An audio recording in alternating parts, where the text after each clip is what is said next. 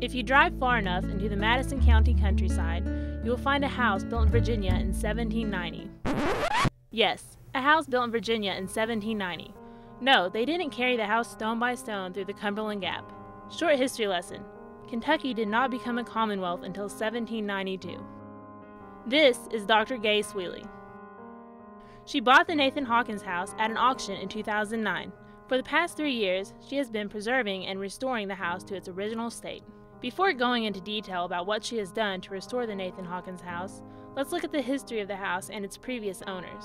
Nathan and Nicholas Hawkins came from Spotsylvania County, Virginia, after Nicholas received a Revolutionary War land grant in the Kentucky Territory. There are a few theories explaining why they settled here. We are totally surrounded by water, so I imagine that they moved here because of the water. The house was built by nine slaves from stone quarried at a grist mill below the house. The face of the house is symmetrical with two front doors. Why are there two front doors? The house is thought to be one of the first duplexes in Kentucky.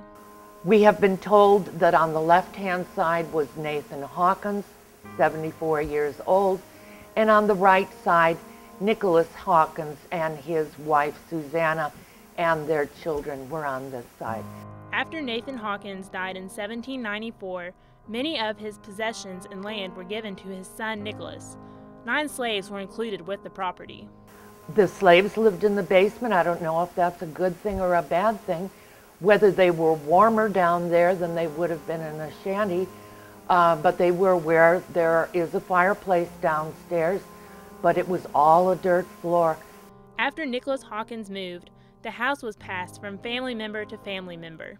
Now, back to Dr. Sweely. After purchasing the house in early 2009, a ton of work had to be done. This is what the house looked like the day they bought it, and one week after. When we started restoring the house, everything had to be restored.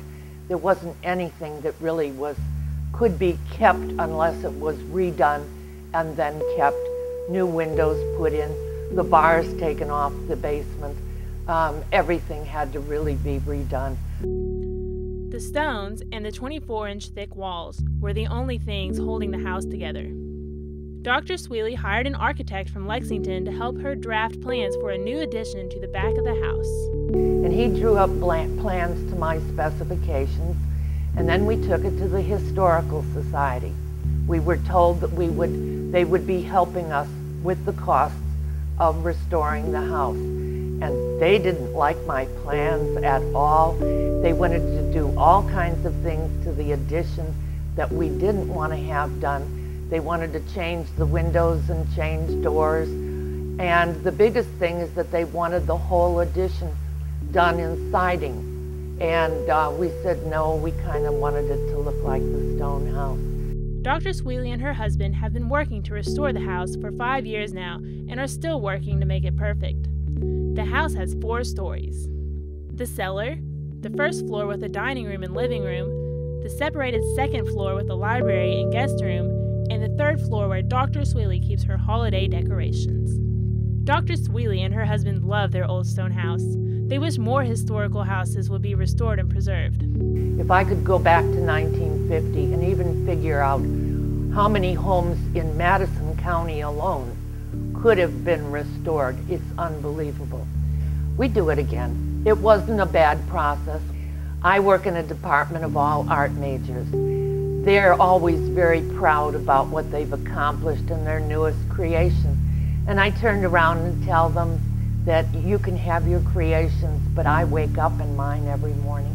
And the other best thing was adding stained glass windows. Dr. Sweely wouldn't trade anything in the world for her old stone house. She absolutely loves living there. One more thing. Are there any ghosts in the house? There's supposed to be ghosts all over this house.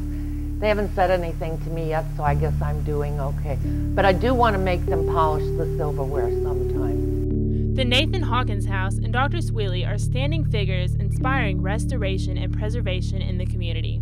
Who knows what their next adventure will be?